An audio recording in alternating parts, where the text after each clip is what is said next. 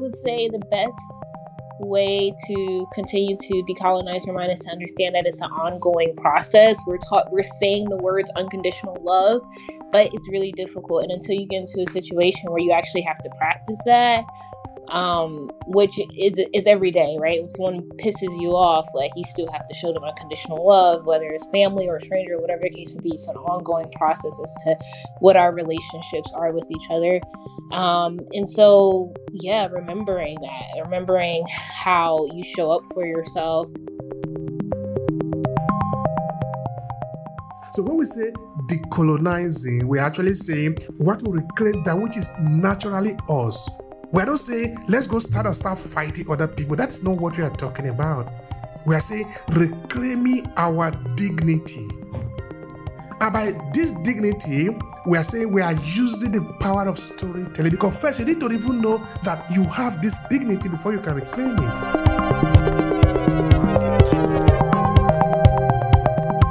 We need to explore our stories, research, and learn then examine our own stories today. What has changed?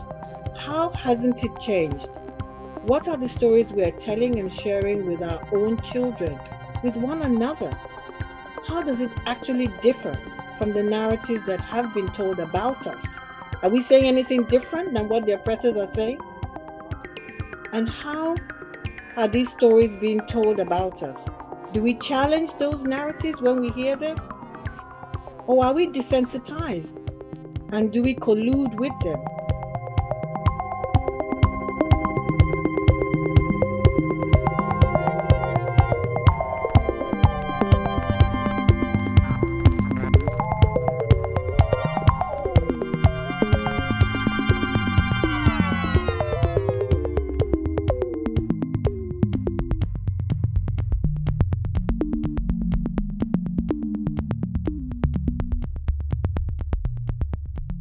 Hello and thank you for checking out this video. I'm Obehi Ewanfoh, the host of the African Diaspora Storytelling Series. Every two weeks we meet up on LinkedIn to talk about different ways we can leverage the power of storytelling as people of African descent. Now this is it. We are uniting millions of Africans in the diaspora through the power of our story. It does sound like what you are interested in. Make sure to subscribe to this channel and share this video with your friends who might need it. Now, back to today's conversation. This conversation is particularly important. It's important for us uh, in the diaspora, but it's also important for people that are in Africa because what is tied up together is the same. So, this is our heritage, our story that we are going to use to heal ourselves.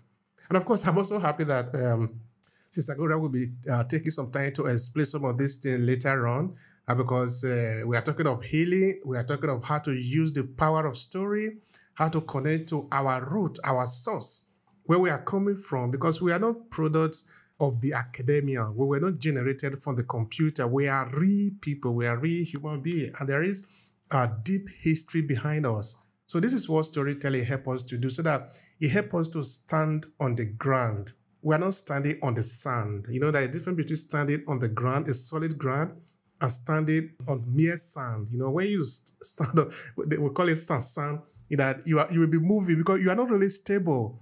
Uh, but when you stand on a solid ground, which is your history, your heritage, uh, your story, that is what build up the solid ground upon which you are standing. Then you become immovable. Nothing can shake you. Nothing can shake you. All right. So, like I say here, we don't have to wait for anybody. This is the time that we have set for this particular conversation. So we are seizing this time. It's important for us. We are taking it. Let's do what we have to do. My name is Obehi Ewanfoh. I'm originally from Nigeria. I'm the author of the Storytelling Mastery, which basically takes people and businesses uh, through the ABC of storytelling.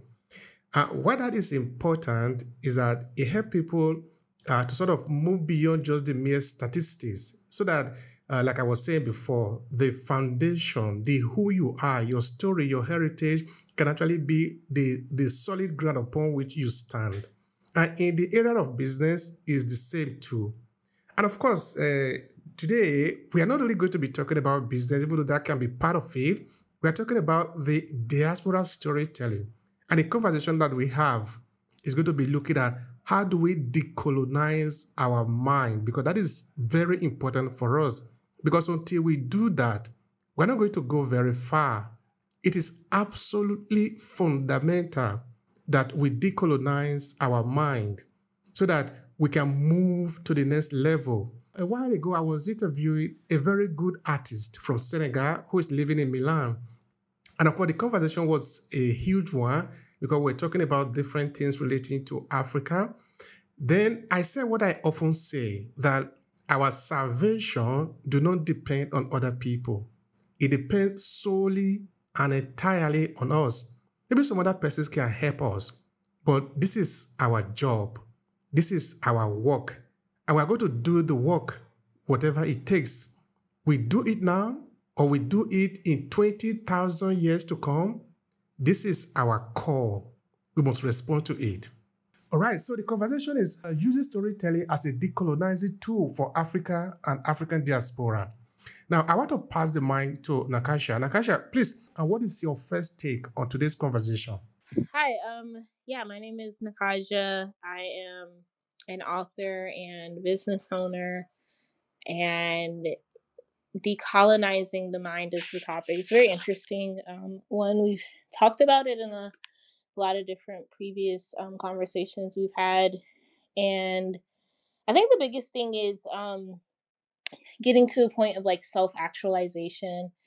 Honest, uh, let me give a little bit transparency. I'm super um, exhausted. I just got off of a trip. I'm in Tunisia right now, by the way, but um, I just got out the airport. But self actualization, self love, I think is the biggest thing that we have to focus on. Um, not even particularly relating to uh, a race, but just as a, as a species, like understanding the conception of love, unconditional love for self. I think is um, a really important factor of decolonizing the mind because we've been so conditioned to think a certain type of way as far as like who we are supposed to be within the a system and the structure um, to benefit someone else and not our own selves. So we we've been conditioned not to develop our own institutions and philosophies and ways of thinking. Uh, we've been conditioned to support a system as in like you talking about the university or we're not robots thinking like computers but we've been so conditioned in this generation to utilize the education system to get to where we can go and then even when you're in that institution at least from my experience being um, at one of the best institutions in America, like people are only thinking about how can they become employees, and I think that's um, something that needs to be decolonized. Like, why are we always thinking about being employed by someone else. And of course, like we human resources is the most important thing, but that shouldn't be the end goal of your life of how you expect to make a means. And I think oftentimes we've became so embedded in that structure because of what is generated through capitalism and racial capitalism and all those interesting thing. So I think that once you understand unconditional love on a uni- on an internal and then a universal level, everything else starts to unravel, right? And like your relationships starts to get better, but whether they're family, platonic, or um, romantic, you start to actually um, receive what you feel about yourself, and then things can manifest forward. So love. All right. Thank you so much for that, Nakasha. That, that is really important because we are, first of all, going to love ourselves. Because if we don't love ourselves, then whatever we are doing is going to be superficial, it's not going to land. Uh, because how are we going to love other people if we don't even love ourselves? And this is an argument that is going to come around again and again uh, in our demography. In that, like uh, Nakasha was saying, uh, we when we go through this educational system, we are mm, educated to be like sort of being robot because the education is very complex uh, sometimes in that it's very expensive to educate somebody. Because the institution or the state do not have these resources to do that they do a kind of standardized form of just grouping people and making people fit into little boxes about there that they have created. So they're not really looking for the potential of the individual, of the people. They're looking up how to put the people together. They get the best that they want. Then for the rest, you just need to serve the master. Well, life originally was designed in a way that each and every one of us should become the best that we can be. Not few of us, but each and every one of us. And if we do this, life will become huge. Life will become really more beautiful than it is today because we will reduce the suffering because each of us would have been able to fully, fully involved. And particularly for us, uh, people of African and African descent, we feel this a lot because, like Nakasha also was saying, the capitalism that we have, that we are practicing, is a racist capitalism. For this reason, we are disadvantaged in that so we need to look for a way to decolonize our mindset so that we need to do what honor us, what honor our people, what give dignity to us. And these things are not automatic, particularly when you are looking at this uh, racial agenda that is set up against us. So we are not going to get salvation through that system until we love ourselves. Like Michael Mills would say, you need to love who you are, love every part of you your hair, your color, the sound of your voice. There is nothing in you that you should be ashamed of. You really need to love yourself. And that is going to be very important for us. And this is going to help us to even heal ourselves because we can heal ourselves. I remember the other day I was interviewing an assistant uh, professor in the US. They were talking about African history, talking about uh, African heritage, but of course, we also talked about the epigenetic that many of us are suffering from. And it said something very important that we can even heal our ancestors because all of us are connected. None of us is exempted. None of, none of us is free as long as we are not free. So by healing yourself, you are also healing generation that have come before you and the generation that is going to come after you because you are part of the whole. You are not just alone as a singular entity. You are part of several thousands of people in a line of generations. So it is important that we decolonize our mind so that we can help many, many, many other people that we're not even able to see or touch just now. So this is fundamental. Now, talking of healing, I would like to pass the mic to Sister Gloria because she is an expert on ancestral healing. And I don't think uh, uh, anything is more important than that today. Please take it from me. Thank you, Brother Obehi. Greetings, everybody. I greet you in my Yoruba language, Alafia. Thank you for being here. And Sister Nakasha, let me just say, you know, welcome to you from your travels. Talk about commitment. You're just arriving from Tunisia. Uh, so that's uh, being intentional and being here today. So thank you for that. Uh, Sister Marcia, well, you know, you know I'm a fan, so nice to see you. So my name is Gloria Tinu Ogunbadejo. I'm a, a Nigerian from the Yoruba culture. I'm an ordained minister, a psychotherapist, mental health advocate, a writer, and a certified ancestral lineage healing practitioner. I support African women ministers who want to incorporate spirituality in their ministry I support Africans in the diaspora who are looking for cultural reconnection, emotional, psychological, intergenerational healing, strengthening their identity, tapping into their intuition, bringing harmony and balance into their lives, reclaiming cultural traditions. The topic today is such an important one, and uh, I'm, I'm, I'm hoping it goes far and wide because it's really it, it, it is the time to talk to talk about this, and we can't talk about it enough. And like my sister said, we've talked about it in different uh, configurations, but you know, we need to continue talking about it.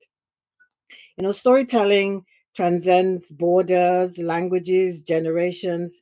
It's a universal language that connects us with our past, present, and future. You know, Africa is a continent rich in culture, history, and diversity. It's been called the cradle of civilization Yet the West has managed to maintain a narrative that only focuses on the worst aspects. We're seeing it every day. The richness and humanity that resides and flows from the continent is often overshadowed misrepresented, and silenced by colonial forces. We need to reclaim our stories in order to decolonize our minds. You know, the, our minds have never had an opportunity to recover, to heal from all the damage received. There's no space for healing as the trauma continues and is relentless. We have to create our own healing spaces with intention and rigor. We can heal the wounds of our ancestral lineage through the transformative power of storytelling. You know, throughout history, narratives have been used to oppress, marginalize, and control. They still continue to do that.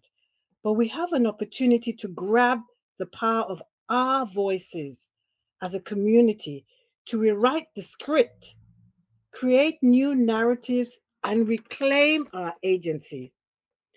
Colonialism sought to erase indigenous cultures, languages, and traditions, imposing a dominant narrative that depicts Africa and its people as inferior, primitive, and uncivilized.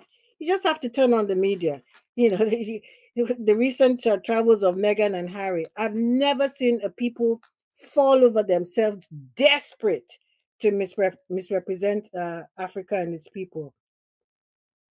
These narratives continue to linger in our collective consciousness, perpetuating stereotype, biases, and systematic inequalities. You know, through storytelling, we reclaim our voice, assert our identity, and challenge the dominant narrative imposed upon us. Decolonization begins within ourselves. It requires unlearning the narratives of oppression and relearning our history, culture, and heritage by critically examining our stories we the stories we tell and the stories we consume. We dismantle the structures of colonialism and cultivate a liberated consciousness. Our ancestors endured centuries of trauma, displacement, and exploitation under colonial rule. Their experiences are etched in our collective memories. Make no mistake, these memories influence our beliefs, behaviors, and our relationships. These memories are also up against all the gaslighting, assaults, retriggering, retriggering attempts to recolonize our minds, which, on some level, in my opinion, is worse than the physical chains. Because when the mind is in shackles, then we do the work of the oppressors. They don't have to do anything. We perpetuate the damage on ourselves. This is evident in how we hamper each other or one another's progress at times unconsciously. How we struggle to come together on things that really matter and not on inconsequentials and rubbish. We need to come together and tell new stories. This is our work today. We have no excuse. When you think of all the pain and suffering our ancestors went through, they didn't have all the privileges we have today. Supporting one another building up one another, telling new vibrant stories about one another, it has to be intentional. It, it, it just doesn't happen on its own. We have to really make an effort to make it happen, to tell these stories because we're bombarded every day with all kinds of things that are trying to, you know, that, that we're fighting to get our mind, to control our children's minds. So we have to be intentional. Ancestral lineage healing is the process of acknowledging, honoring, and reconciling with the past to heal intergenerational wounds and create a path towards wholeness. By reclaiming our stories, we reclaim our power. We celebrate the resilience, wisdom, and beauty of African cultures and civilizations. If we really understand the beauty of our traditions and our cultures, we will be screaming at the top of our voices rather than hiding or, or ignoring or, or even engaging in in in in, in castigating and, and, and speaking ill of our, our culture. How dare we do that? Participating in ancestral lineage healing is an act of self love and collective liberation. It requires introspection, empathy, and a willingness to confront uncomfortable truths.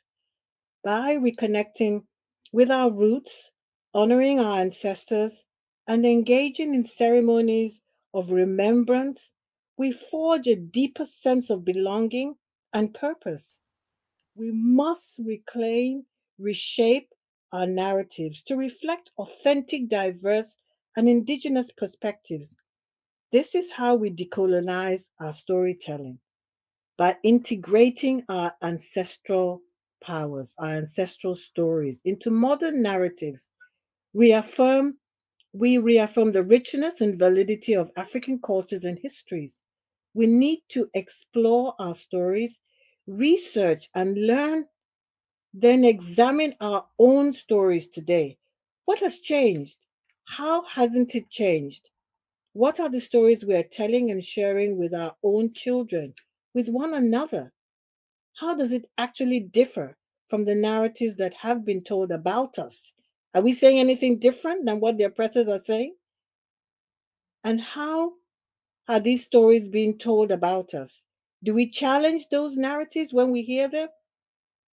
Or are we desensitized? And do we collude with them? By sharing stories of our ancestors, our ancestors' strength, innovation, and resistance, we counteract stereotypes and reclaim our rightful place in global history. Add to that our own individual and collective stories of resilience, accomplishments, struggles, all of it. Like my brother said, there's nothing to be ashamed of. If anything, we're here. We're still standing. We're, we're accomplishing. We're successful. So all the struggles that we've been through are all of part of what has brought us here to where we are today. Let us tell our own genuine, authentic stories. I'll stop here. Thank, Thank you so much for that. I love that. I really do. I really do. This is this is the power of all of us. And the only way we can get out of this quagmire is when we unite our efforts together. Because by uniting our efforts together, there is no uh, there is no storm that we cannot weather. There is no obstacle that is beyond us. It is only when we remain in our, in our petty little angle, thinking that ah, it is about me and all about me that we will fail.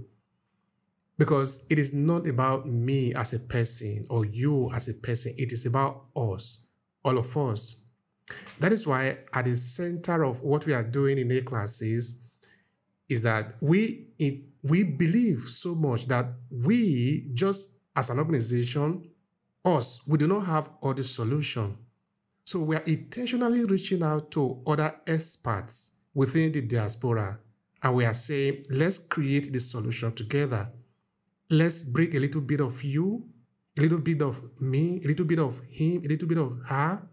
When we put it together, we'll be able to find a better solution. Maybe I need to explain that uh, more. You see, there are a lot of experts within the African diaspora, whether you are in the UK or in US or in Canada or in any other part of Europe.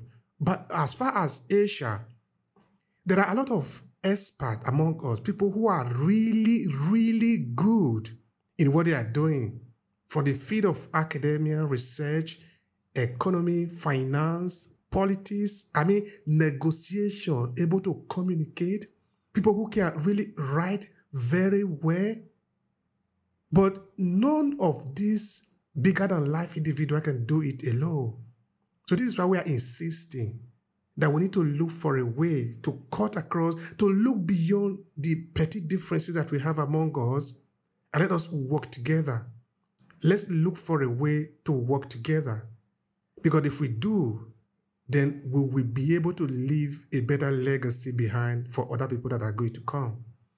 Just now, before we started to record, um, I was just sharing with uh, Sister Gloria, uh, talking about our consistency here because we are really consistent here and we are doing it intentionally. That I was saying, Imagine, for example, the speech that were made by uh, Marcus Garvey, or all those speeches that were made by uh, Martin Luther King at the time. None of us were there.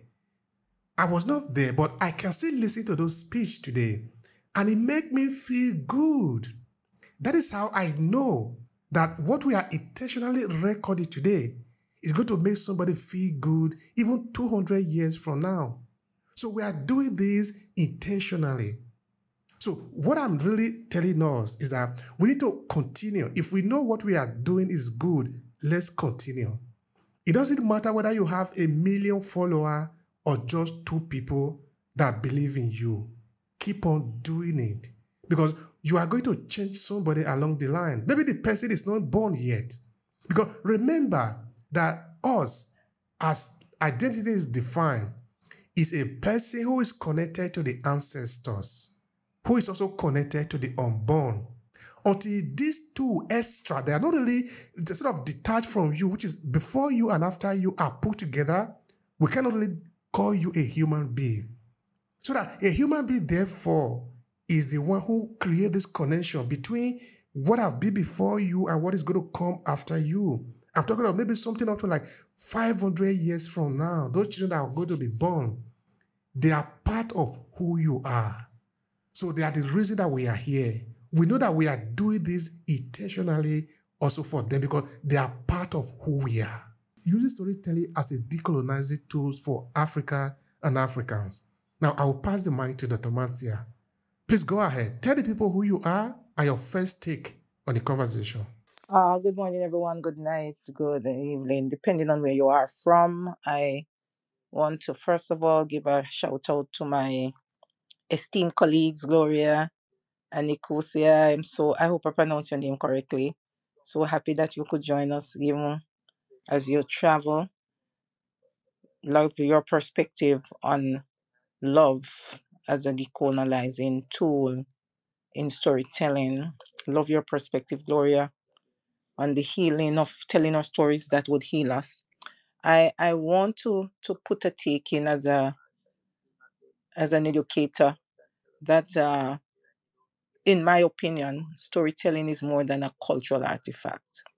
It is really a dynamic tool for decolonization because it, it carries so many different interpretations and meanings and so many personal and in-depth experiences that even if it is told from another's perspective, it's is a different story that is told because it carries a different impression on the person telling, even if they are telling your story. And so it is very important because storytelling helps in my mind to you to reclaim and share your story. And through this, as Africans, we can assert our identity and preserve our heritage because it is our own unique and original story that can in fact inspire future generations. Because as there as we as we begin to connect meaningful in the world if we tell our story unapologetically and with authority and the assertion and ownership that makes our stories lasting and impressive then we have the power to chan- channel and confront decisively the global narratives that represent us and that contribute to an inaccurate representation of who we are and an understanding of how we have been affected by our experiences, whatever shape or form they came in, and how what we take with us that make us so resilient. I I want to look at an example of what I'm describing. As I follow Rwanda very closely, it is a nation that I really admire because the leader has managed to to make decolonization come alive in a way that can only be admired. And also it is something that has made persons become afraid and, uh, and fear drives hate. Because it is not just a political process it is also a cultural one. So he, he has reclaimed the language of his people the knowledge of his people, and the ways of life that colonial powers attempted to suppress or erase in that group. He has managed to do it very well. So persons have reclaimed their identity, preserved the language and culture because of the I, the personal ownership and collective resilience that that brings. It has empowered the communities in this nation. It has educated and healed persons. What do we mean? It has changed the mindset that persons know, understand the redistribution of resources, the, self, the self-sufficiency that comes from collectively banding together to preserve a heritage, to preserve the dignity of a people who had that as a birthright. When we are born, we come into this world, whatever way we come, but we we must live with a certain amount of dignity because we now accept and know and embrace who we are and our our history and use it to perfect our future. And so this self-sufficiency must be economic, it must be mental, it must be spiritual, it must be emotional, it must address our purpose in life and it must cement our presence and authority.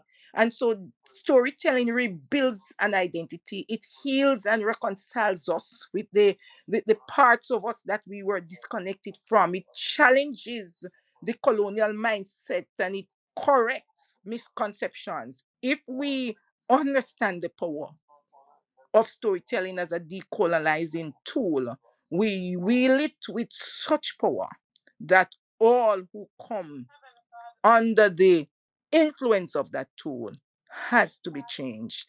That's all I have to say as they start on this. Thank you for allowing me to be a part of this group. I'm Dr. Marcia Thomas. I am a Christian leadership consultant and life coach. I am a story writer and I embrace story writing to do just this change mindsets, change lives, change outcomes. But I do it with persons together because I am also change. So we we want to understand this and we we want to tell it. We want to become disciples of decolonization through our storytelling in our settings, in our context, in our environments. And we want to convince ourselves that it is very important so that we give it the importance that it requires. And we embrace change first in our minds, in our beings, in our spirits, so that we can convince others to do the same. Because decolonization by itself is a painful, traumatic process that cannot be entered lightly. And as we are healed, the step to healing begins when we continue to share the parts of us that are healing so they can be strengthened and the wounds that we carry do not fester they are clean and they are eradicated so we can embrace the power we have been given by God to use the capabilities, the identities, the variety that we have to build and not break down, to help and not hinder. Those are the things that storytelling does as a decolonizing tool. Thank you, Obi. Thank you so much, sister. We appreciate you. We appreciate the those in-depth uh, intervention, also from uh, that of uh, Sister Gloria and Nakasha. I appreciate you deeply. Uh, this is very important. You see, each time we are together talking about these things, I really feel very proud that we are doing the right thing. And of course, I also want to thank the people in the audience. I see uh, Lenny, uh, David, uh, Yiman, uh, see Khalid, uh, okay, Mosidisi, I already mentioned your name. I see Charlie.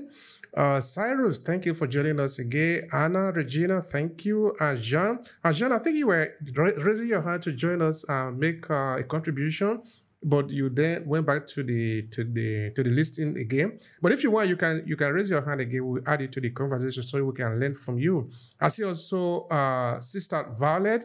Thank you so much for joining us. If any of you feel that there is something that taught you personally and you want to share, please come to the stage and share. We are interested in learning also, also from you because uh, all of us feel what is happening here. I believe all of us feel it. Uh, there is there is no way you cannot feel what is happening here because we're essentially saying that uh, it is time for us to reclaim our agency.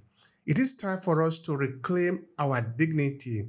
It is time for us to see the reality through our lenses, not through the lenses of other people, which is what colonialism actually did. And it wasn't just for the sake of seeing reality, but that your way of seeing reality, which is our way of seeing reality, was actually demonized so much to the point that we needed to be ashamed of who we are.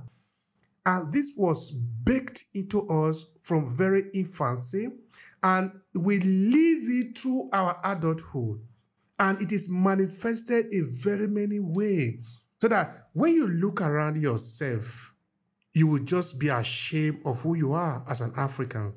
So that when you are in the midst of a conversation, somebody come call you to come and express your own, you will have nothing to express because you have not been told that there is something valuable about you, that there is there is an heritage that you are having, that there is something of dignity about you, that your color means something significant, that the way you laugh is important, that the way you sound is also important, that you are an important part of the human family colonialism strip us away all this.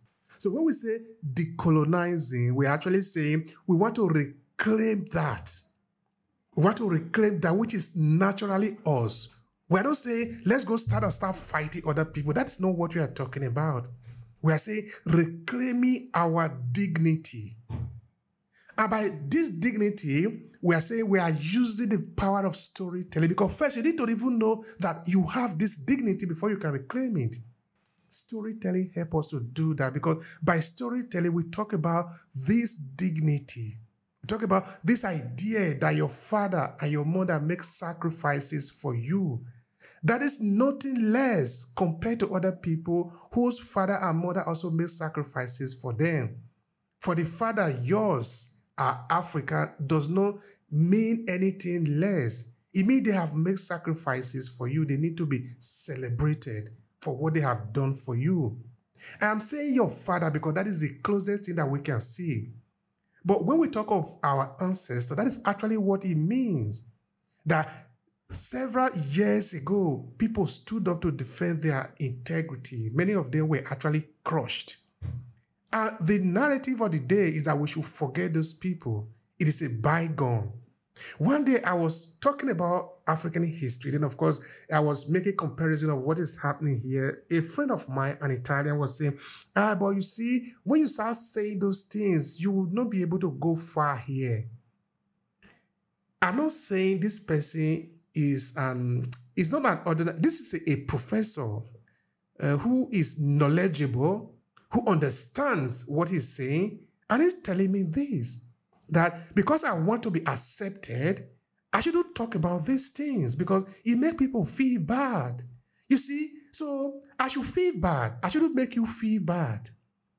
This is a conversation that have come up again and again, particularly in the United States, that when you bring out such topics as critical race theory, those in the power um, position uh, think that you shouldn't talk about those things because when you do, you're going to make people feel bad.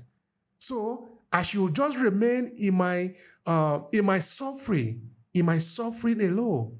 Even though my suffering was, was actually caused by you, I shouldn't make you feel bad by saying that I am suffering. Can you see how unjust the system is? Anyway, I, I want to uh, put a question to Nakasha. Nakasha, what method do you see as the best that we should maybe adopt to better use storytelling as a way to decolonize our our mindset. Interesting. I I think that there's not one approach. I think the beauty of um having conversations like this with people from you know diverse backgrounds and diverse like socializations like no one on this call has the same socialization is that um you know everyone has a different approach towards to their storytelling like if we were to each go down the line is like tell you our experience with um, racism or capitalism or our views or whatever the case may be, each of us would have such a, a different experience of it and then a different approach to tell you those stories. Um, I think the biggest thing that I try to inspire people to do is to just start with, you know, getting in the habit of understanding that you like your story is important like what happens to you is important in the power of uh, documentation whether it's um, documentation of your own personal life or the people around you, like your family, um, talking to your family. A lot of people don't talk to their family members, or if they do talk to their family members, they're not really inquiring to their family members as to like what happened to them in their life. So that knowledge isn't, that wisdom isn't being passed down.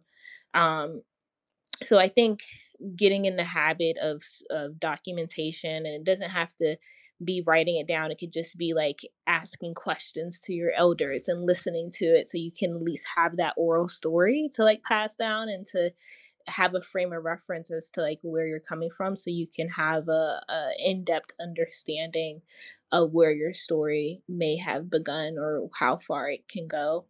Uh, I, I think that the biggest thing is understanding the power of your story and how it then connects to a bunch of other people's stories. So sometimes, like, someone may tell a story and people are like so happy that they told a story because, you know, a whole thousands of people had similar things, but they were just too scared to share or whatever the case may be. So just the power of knowing that um, people do care, people do want to listen, and there's uh, di- there's unity and diversity. So.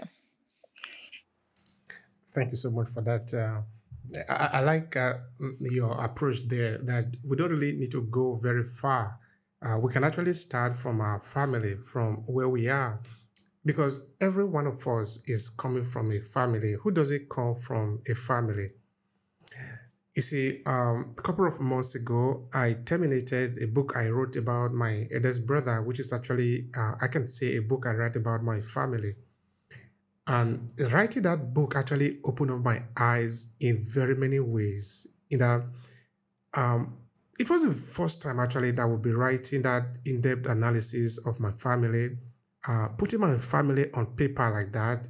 It was really healing even for me because now I could see in picture um, how we have been evolving as a family. You know, uh, looking at my father, who, of course, uh, died when I was in primary two.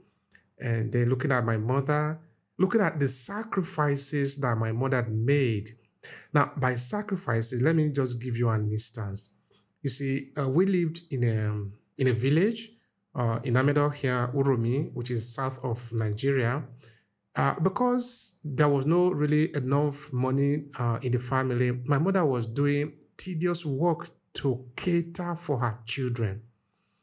You know, that is what I often say that we are no product of charity. We are product of the sacrifices of people. She need to go to the wood, to the forest, little forest around us to cut firewood. She will literally lift it on her head, take it to the house, and she will from there take it away to the town to sell. She was doing this to care for us. This is the sacrifices that she have made. Now, what I understand, put it writing that story. In fact, I did say it uh, in some time in the book that okay, because the story is a little bit long because now okay, my my mother is dead now too. Uh, because my father uh, was late, so the responsibility was basically lifted on my, the first child in our not only the first child but the first male child in the family, which is uh, my eldest brother, and he have to take care of us, all of us.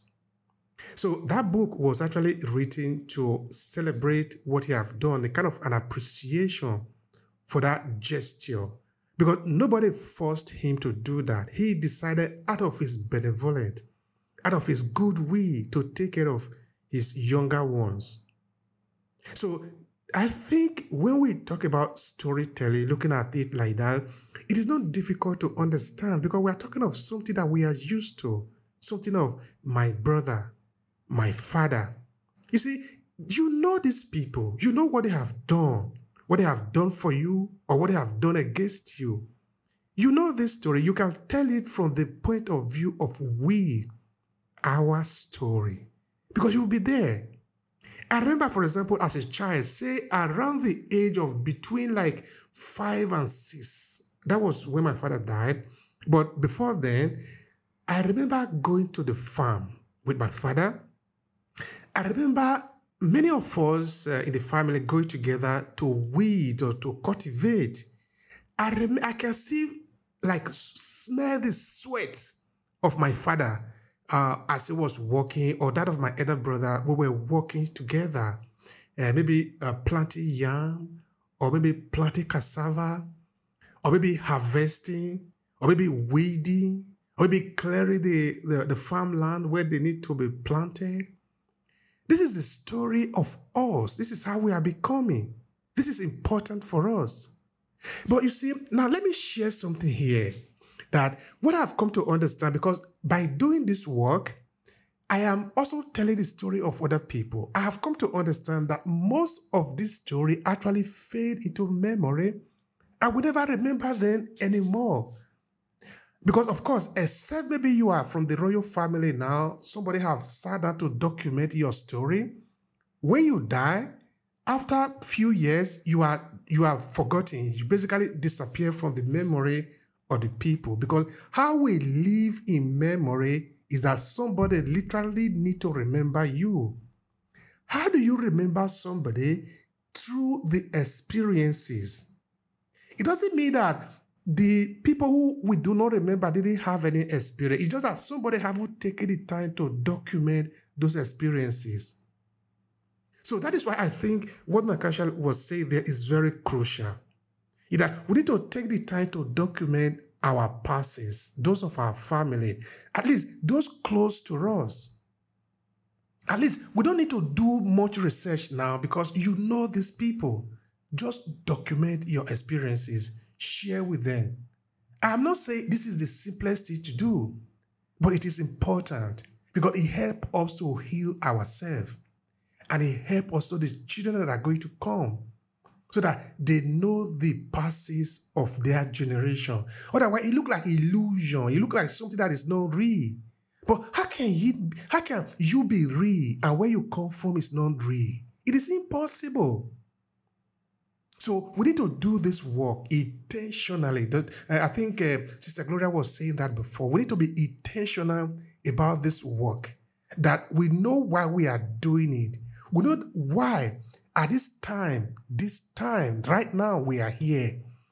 We are not here because we didn't have anything to do. Uh, you see, Dr. Marcia run her business. The same with uh, uh, Sister Gloria. They abandoned all that time. They are here. That is intention. They are doing this intentionally because they believe that what they are doing have a meaning, have a reason. There is intentionality about that. This is what it should be. Let's take the time to keep the memory of our existence. It is important, it's the minimum that we can do so that somebody can make a record of this someday. Now, talking about this again, I would like to pass the mic to our sister Gloria.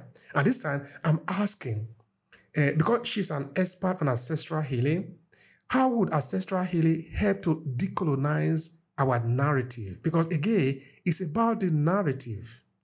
Please help us. Thank you, Brother Obey. You know, with me, I always go around the the the what do you call it? I, I veer away from the immediate question because I always have a variety of things to say. And thank you for always indulging me in that. So the thing with uh, ancestral stories, um, ancestral healing, you know, Many ancestral lineage stories were marginalized or erased by colonial powers. And by resurrecting these stories, we give voice to the silenced, forgotten. I was just saying to Brother Obehi earlier that our cultural, historical African ancestors will be well pleased with him and they will empower him to keep the as he keeps their names and voices alive.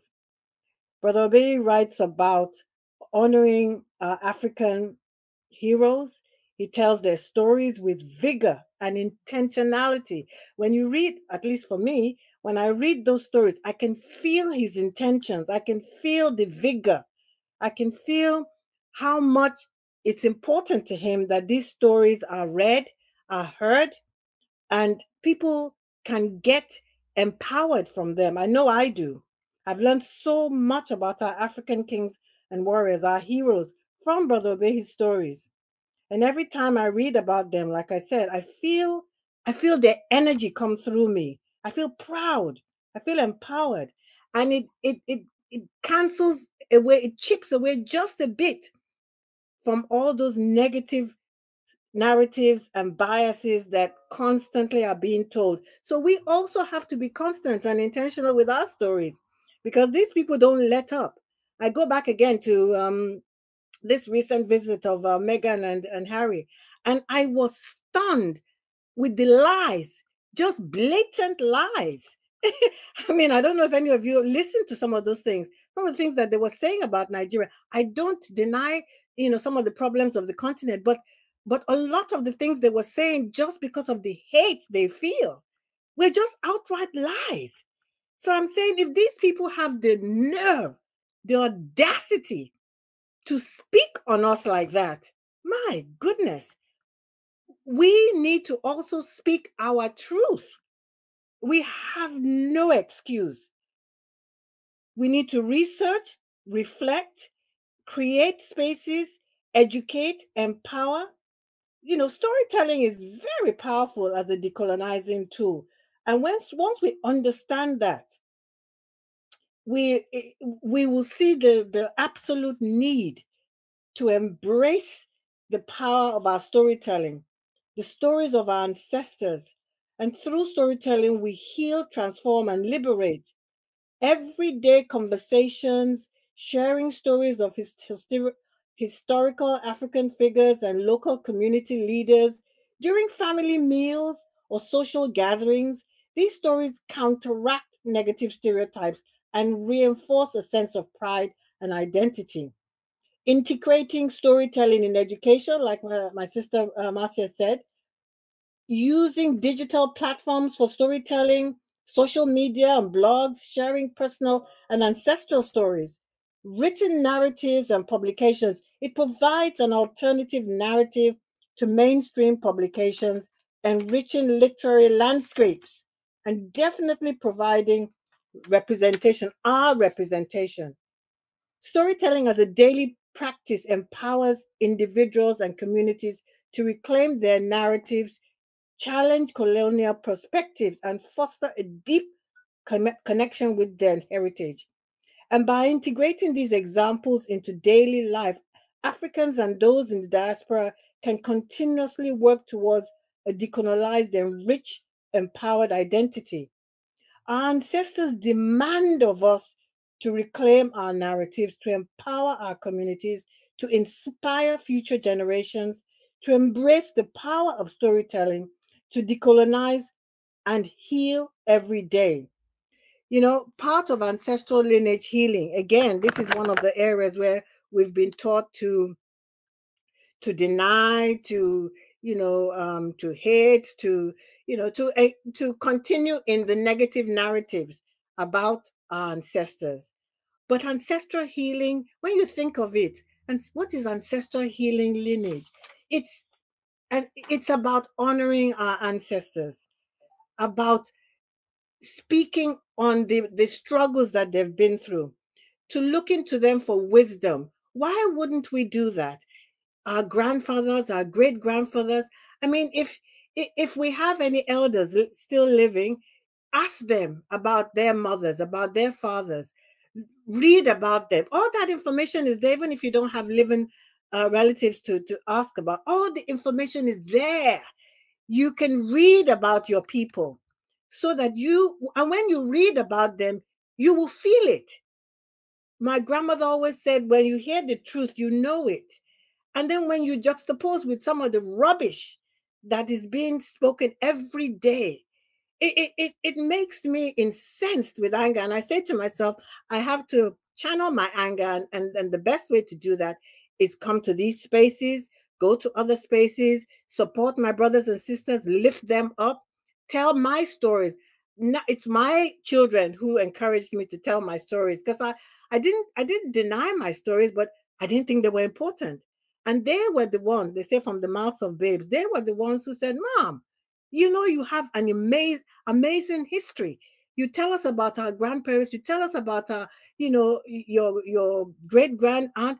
And I look at their faces when I'm telling them these stories. They look, they I, I feel as if I'm putting, I'm feeding them, I'm putting uh, something into them because I can see the transformation even in them.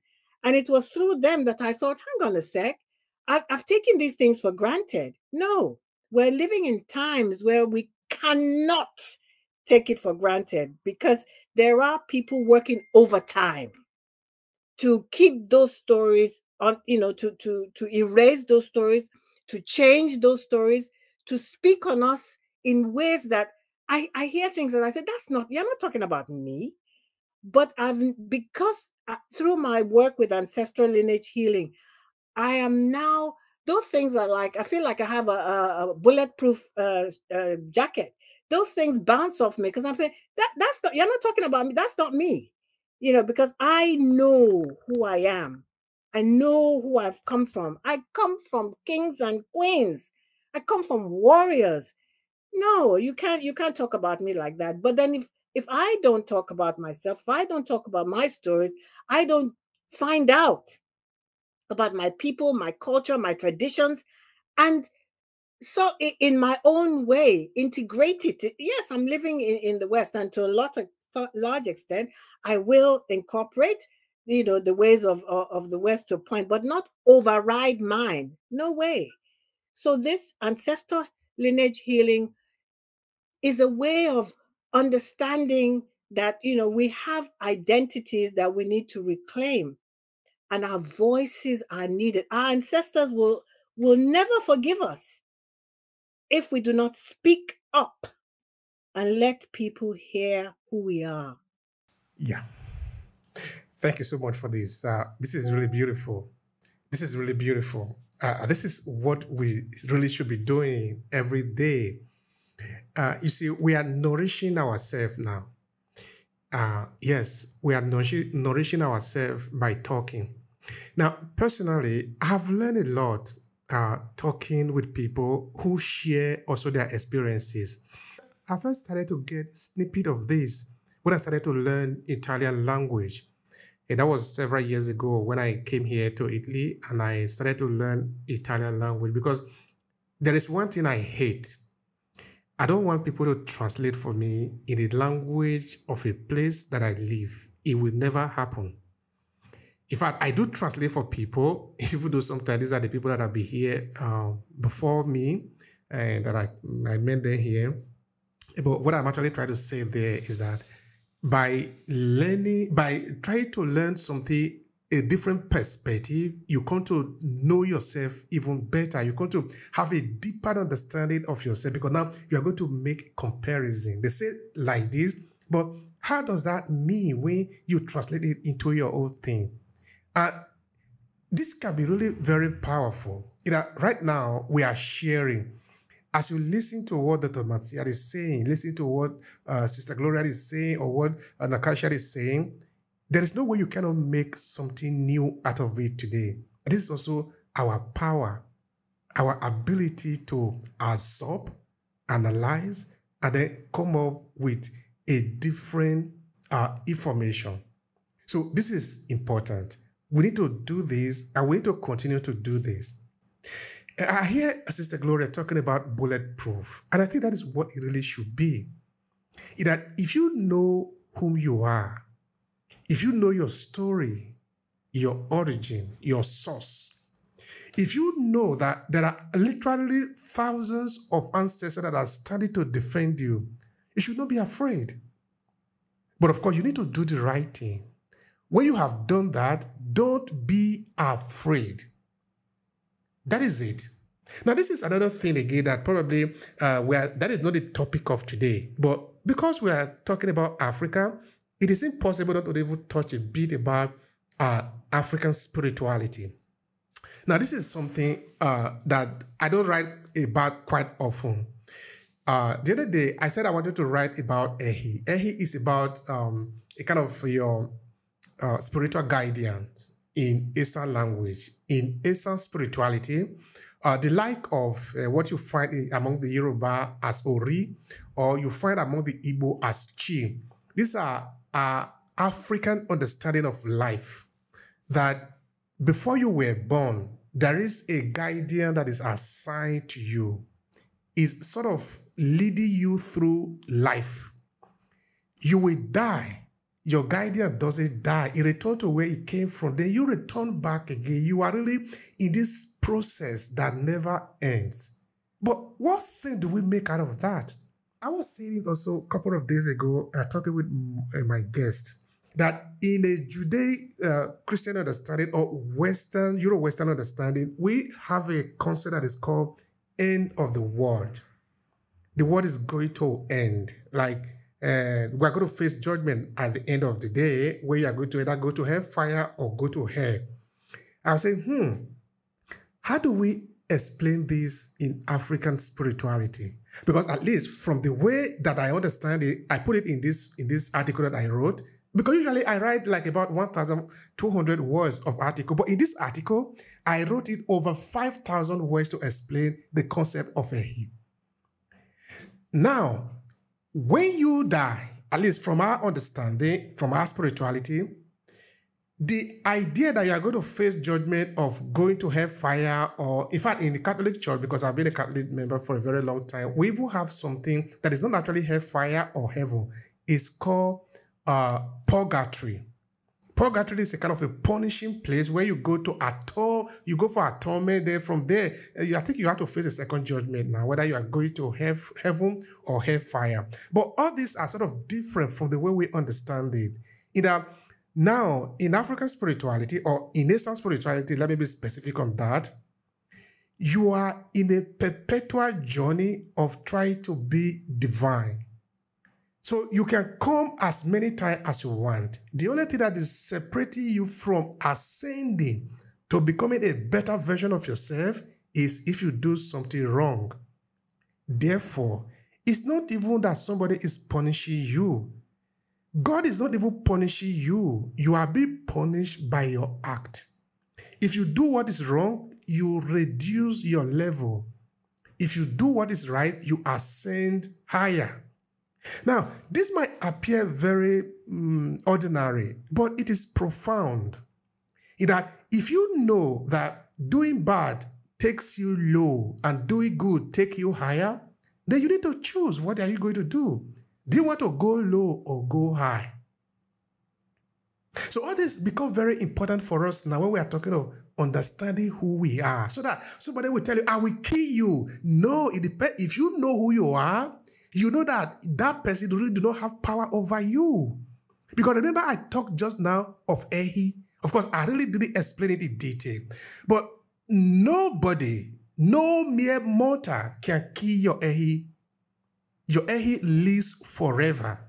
So that you even have the permission of living forever. So nobody can threaten you.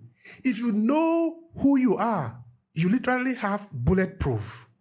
I think this is important. I, I really think it's important. And I thank you so much for mentioning that, uh, Sister Gloria, that if you know yourself, you have bulletproof. It is true. Now, I have a question for uh, Dr. Marcia. Uh, uh, because Dr. Marcia have published a book, an interesting one, talking about leadership. And in Africa and among African diaspora, leadership is particularly important for us. You see, today we're talking about uses storytelling as a decolonizing tool. If what we have in Africa are neo-colonialists or people who are simply working for the metropoles, then it's not going to work because it requires a lot of effort for us to decolonize the system because, because we need to talk about the education. There are some countries in Africa, I'm not really going to be mentioning name, where the educational material they use to educate the people are literally coming from France. It's under the France Educational uh, Ministry, Ministry of Education, that they design they design the curriculum that is going to these so-called France Afriques, countries in Africa that are supposed to be independent, but they are under France. In that case, how can you decolonize a system like that? We need leadership. A leader who know the destination of the people, who the people are rallying around us. Hey, hey, we are going to this direction. We need to do this, then do that, then do that, then do that, because it's going to lead us to this way and this way. They have a destination. We need good leaders in Africa. So the question to the uh, to the other man is, how would good leadership and storytelling contribute to our understanding of the world from our perspective? Help us with that. That is a very good question, very interesting, intriguing one, because um, in my mind, as a leader and also as a writer, I'm presently putting out a another book that talks as, that appeals to young leaders with some power texts that would guide them on how to ignite their faith for to build resilience in their field as faith-based professionals. And and i am framing the concept that good leadership and storytelling in itself are instrumental very instrumental in shaping how we see the world and how we operate in the world and how we secure our place as masters of our own destinies. And so I believe that leaders guide and inspire, and storytellers connect and educate. And so those two put together, a leader that embraces storytelling as a tool of information, a tool of compassion, and a tool of connection will always be a role model that will impact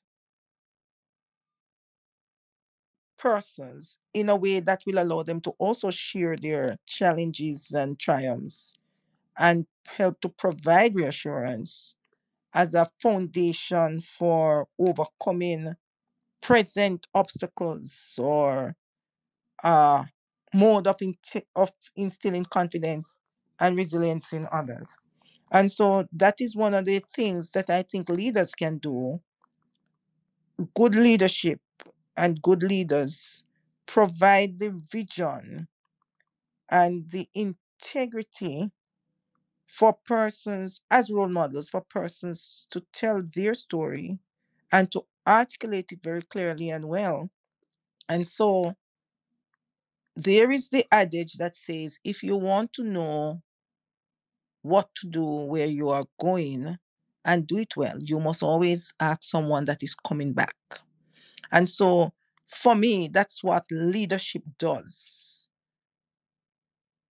And that's what storytelling combined with the right leader does. Articulate a clear vision and direction and help the persons who are depending on us to understand the complex issues and navigate the uncertainties that come from not knowing yourself, not having the right mindset, being being being uh, bogged down for so long. Help persons to overcome their traumatic experiences. Help people to live in the present, and help people to do what I call pivot with power. There is a clear course that leaders can set for decolonization that will enable individuals and communities that they want to connect and that they want to evolve, improve, that they want to to to to to claim ownership and identity. And and good leaders in this way focus their efforts on achieving a common goal. They inspire and motivate persons through their not only their action, their words, but also through their actions. And they communicate this sense of purpose and possibility by how they frame their lives and how they move. They encourage people to change their outcomes and to to to they foster unity of a shared vision. Vision. They also help persons to become more inclusive and also accepting of diversity. So persons they build emotional intelligence in people. They look at how these things trigger people and how their responses, interpretations, and motives trigger others.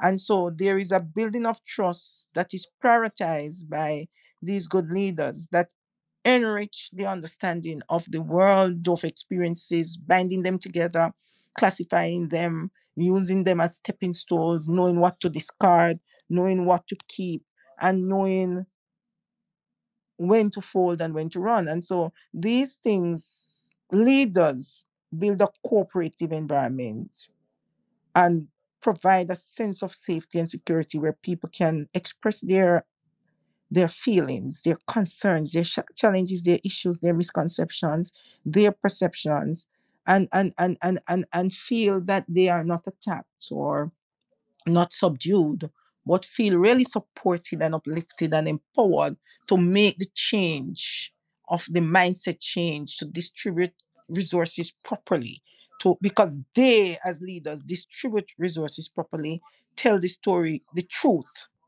tell the truth. And so there is now a, uh, a, a reinvigorating of, of what tradition is what it means and how our cultural practices influence us. There is also this decolonization of the education system to reflect who persons really are the legacies that are embedded there the wealth the values the perspective instead of the colonial narratives. They they lead the way and address the inequalities that exist and and and, and the, the psychological displacement that are forced on, on persons during the period of how we are colonized. And, and colonization in itself is is is requires an decolonization requires an emancipation of the mind. And so we, we we we have movements that are advocated by leaders, good leaders, for the rights and sovereignty of these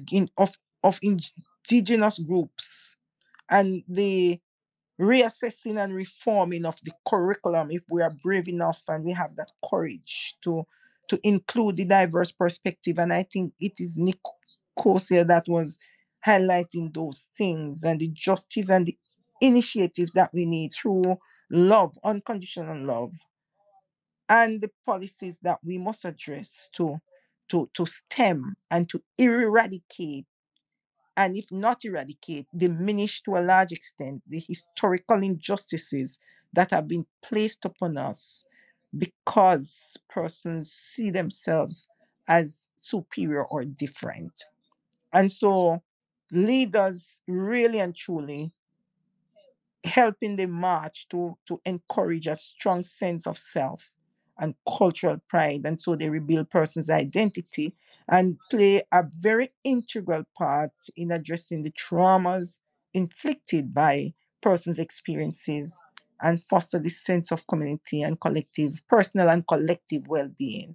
As we overcome the internalized beliefs that people have then in in in in a the superiority the, the superiority sorry of a what would i say now? A colonial culture. And the inferiority of of our unique culture.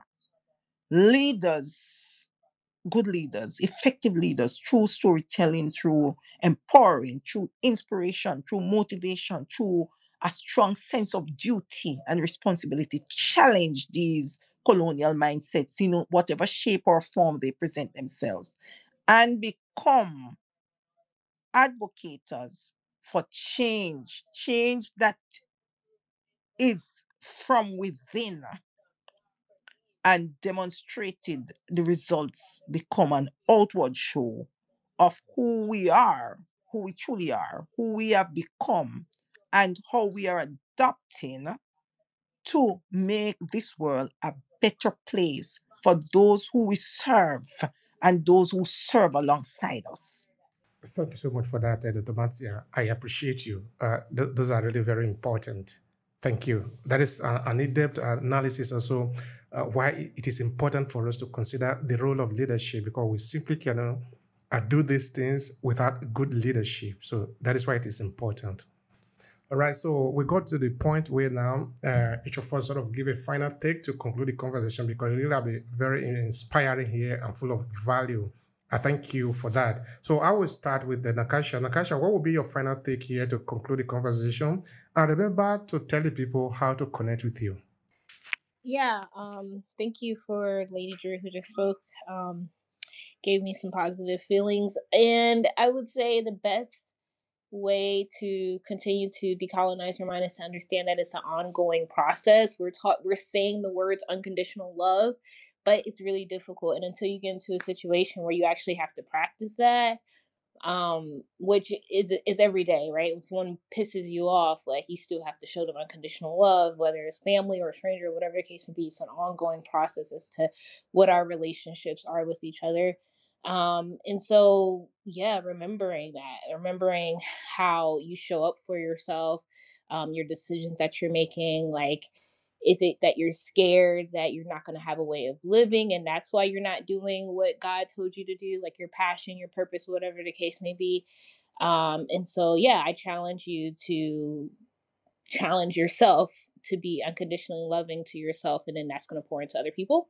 You can connect with me on LinkedIn or um, also my website at www.nkozi, N-K-O-Z-I dash A dot com or my website at moresearch.org. Thank you so much for coming and listening.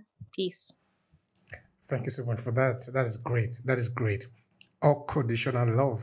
That is really very important. There is nothing that is more powerful than the power of love if we love ourselves, then we will even understand what it means to love other people. And of course, we need to love other people too, because we are not alone in this world. We are sharing this space. Yeah. All right. So I move to Sister Gloria. What is your final take? And please tell people how to connect with you. And thank you, everybody who's spoken. Um, ancestral lineage healing and storytelling are intricately linked in the journey towards decolonization. Ancestral lineage healing is the process of acknowledging, understanding, and healing the traumas and legacies inherited from our ancestors. And decolonizing storytelling is reclaiming and reshaping narratives that reflect authentic, diverse, and indigenous perspectives. You know, the legacy of ancestral trauma, you know, look that colonialism inflicted upon us is profound. It, uh, colonialism inflicted profound trauma on African societies, disrupting cultural continuity and creating deep psychological and social wounds. We can't underestimate how deeply those wounds have gone, intergenerational. The trauma is often passed down through generations, influencing identity, behavior, and perception. So there's a lot of work we have to do.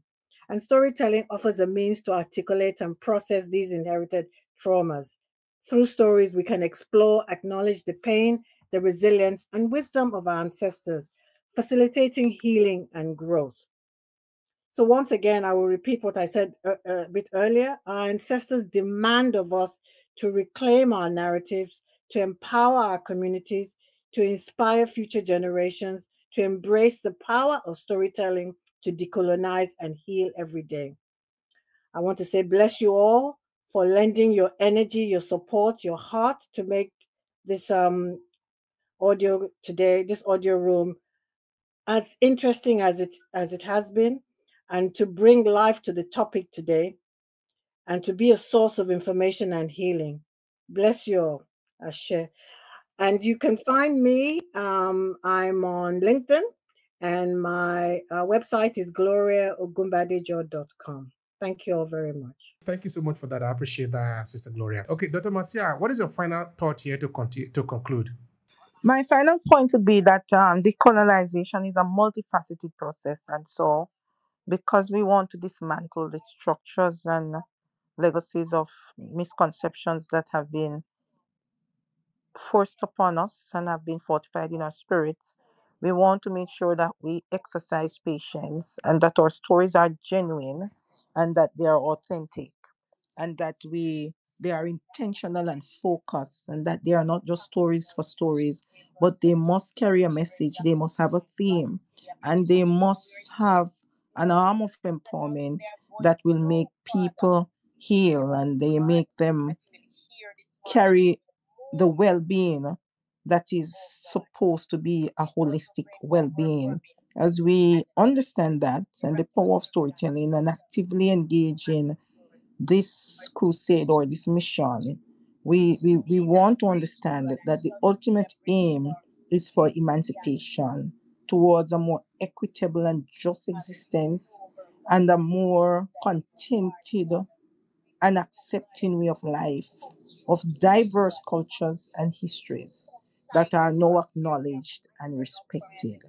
There is where we want it to end. I can be contacted at drtpmotivate2.com, which is my website. I also can you can also share in my newsletter, in my blog, in my on my YouTube channel, and also on Instagram and LinkedIn.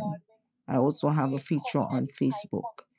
I want to say thanks to everyone who joined us and to you, Obi, for always having these explosive and very practical and relatable rooms and for always sharing with my esteemed colleagues, Gloria and Nakasha. I, I feel that we are making a difference. And no matter how minute, collectively, we are having a cascading effect that even if it is not a monumental change, it is gradually taking root and allowing persons to think and to embrace the possibility that we all can become masters of our own destiny and share equally in changing our world. Thank you so much. Thank you so much for that, uh, uh, Dr. Matsia. And I thank, of course, to that uh, Nakasha and uh, Sister Gloria. I appreciate the sharing.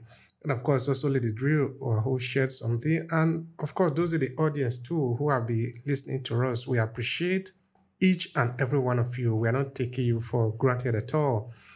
Uh, I, I think I just want to repeat what I was saying in the beginning that we believe that we can do this together. No single one of us can do all this work because it is hard work. And for us to be able to make better impact, we need to uh, put our effort together. That is why in AClasses, we're always looking for uh, different experts who are willing to co-create solution. We co-create solution for our people. So if you believe that you are able to add your knowledge uh, in a way that it can be useful to the people, please reach out to us. We are looking for people who are willing to co-create solution uh, to our audience. That is very important for us. Uh, talking of this um, decolonization, uh, using storytelling as a tool, I think the message has been driven home here, and I really, of course, I am grateful to the speakers here. The story, the power of storytelling is inestimable and of course, uh, I'm not going to really go down and be explaining every part of it. Uh, that is why there is a free chapter from my book, The Storytelling Mastery, that it is free for you to take and read if you're interested in learning about uh, storytelling, because storytelling can be useful to you in every area of, of your life particularly if you are in business or you are in the business of communicating with people because people actually listens to story Story is magic, and we can use it to build ourselves, and we can use it to decolonize also our mindset. So I want to thank all of you for being here. And I encourage you to come around again because every 40 days we are here taking on a different argument on the topic of storytelling within the African diaspora. So thank you again, each and every one of you. Talk to you 40 days from now.